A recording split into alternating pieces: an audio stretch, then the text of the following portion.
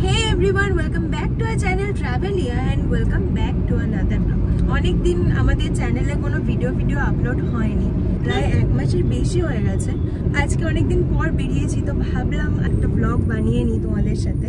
আজকে আমরা বেরিয়ে পড়েছি সাউথ উদ্দেশ্যে, কারণ আজ একটা মুভি দেখতে আছি ওপেন মুভিটা রিলিজ করেছিল একুশ তারিখে, তো এতদিন সময় হয়নি বলে আমরা আজকে আছি। আজকে উনত্রিশ তারিখ প্রায় এক সপ্তাহ পর।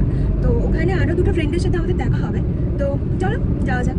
আর একটা কথা যেটা বলার ছিল সেটা হলো আমাদের আহ, দার্জিলিং ব্লগস যেগুলো আর কি দার্জিলিং সিরিজের যে ব্লগসগুলো আসার কথা ছিল মাত্র দুটো এসছে এখনও তিনটে চারটে ভিডিও আসার কথা আছে আর এছাড়াও মন্দারমণির একটা ভিডিও আসবে আর কিছু স্পেশাল ব্লগ আসতে চলেছে তো তোমরা যদি দেখতে চাও তাহলে অবশ্যই আমাদের চ্যানেলটিকে সাবস্ক্রাইব করে দাও আর পাশে থাকা বেল আইকনটিকে অবশ্যই প্রেস করে দাও এই যে যখন দিয়ে ওপেন হাইমের ট্রেলার রিলিজ হয়েছে টিজার রিলিজ হয়েছে। তখন দিয়ে ওপেন হাইমার ওপেন হাইমার করে মানে পাগল হয়ে যাচ্ছে। তো আজকে কেমন? মানে কি ফিল হচ্ছে? আগের বার যখন ডানকার্ক এসেছিল ক্রিস্টোফার নোলানে সেই সময় আইম্যাক্সে দেখতে পারিনি, খুবই দুঃখ পেয়েছিলাম। কারণ সেই সময় সত্যি কথা বলতে অতটা জ্ঞানও ছিল না, অতটা জানতামও না। ঠিক আছে এটা আইম্যাক্সে দেখার জন্যই এটা মেনলি বানানো। সেই যে রিচ এক্সপিরিয়েন্সটা সেটা একমাত্র আইম্যাক্স কিনেই পাওয়া যাবে। তো সেটা তখন মিস করে গিয়েছিলাম। তো তখন সেটা খুবই রিগ্রেট হয়েছিল পরে। তো এবার যখন ওপেন আইমার বেরোচ্ছে ক্রিস্টোফার নোলান সব মুভি অলমোস্ট এখন আইম্যাক্সে শুট করছে। তো সেটার সব থেকে বেস্ট এক্সপিরিয়েন্স নেওয়ার জন্য আইম্যাক্স স্ক্রিনে দেখার জন্যই বলছে। তো সেই জন্য খুবই এক্সাইটেড আজকে মুভিটা নিয়ে। আইম্যাক্সে আইম্যাক্সে শুট করা মুভি দেখতে যাচ্ছি। তো খুবই এক্সাইটেড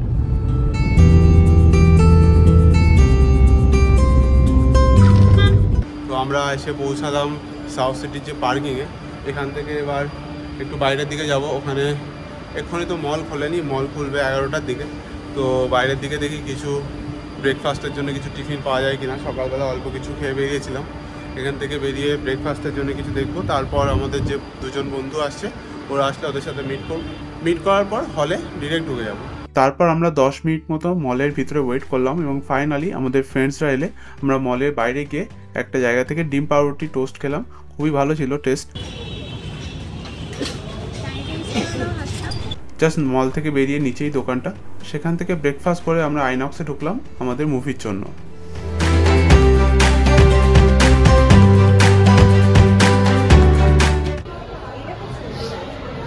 ও ওটা একটা ইয়ে আউটলাইনটা করা আছে বাট কালারগুলো করে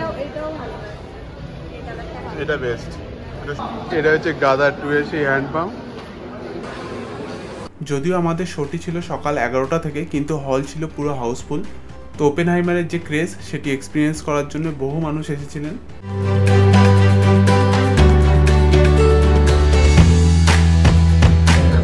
Spanish Republic isn't nothing. My husband offered both our futures to stop one fascist bullet from embedding itself in a mud.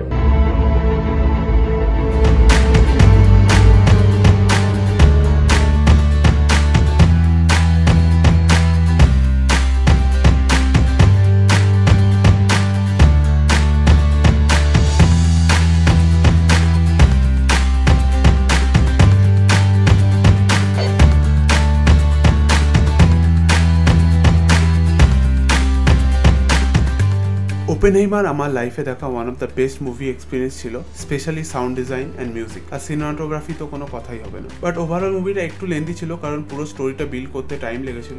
But movie থিয়েটারের এক্সপিরিয়েন্সের দিক থেকে দেখতে গেলে অসাধারণ এক্সপিরিয়েন্স ছিল।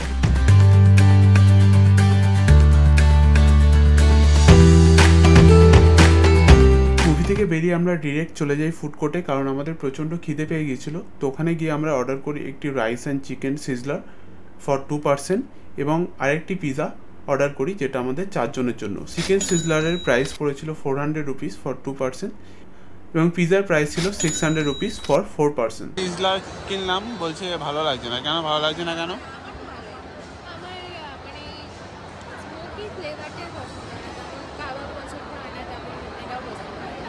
আমার তো অসাধারণ লেগেছে এটা। বেটার দ্যান পিৎজা সিসলার কি কেমন লাগছে? অসাধারণ লাগছে। আমার স্মোকি জিনিস খেতে খুবই ভালো লাগে। আমার যেমন কাবাব কাবাব খেতেও ভালো লাগে প্লাস সিজলার খেতেও ভালো লাগে। আমার পিৎজার থেকে সিজলারটাই বেটার লেগেছে। আর চিলি চিকেনও খুব সুন্দর অসাধারণ টেস্ট মুভি দেখা হয়ে গেলে আমরা ওখান দিয়ে বেরিয়ে ফুড কোর্টে গেছিলাম তারপর চারজন মিলে অনেক কিছু খেয়েছি। আর তারপরে আমরা একটু বেরিয়ে এই স্টোর ওই স্টোর ঘুরে লাস্টে স্পেন্সারে গিয়ে কিছু শপিং করে, টুকটাক প্রয়োজনীয় জিনিস শপিং করে তারপরে এই জাস্ট বেড়ালাম সাতটা বাজে এখন এখন বাড়ির দিকে যাচ্ছি। তো তোমাদের যদি এই ব্লগটা ভালো লেগে থাকে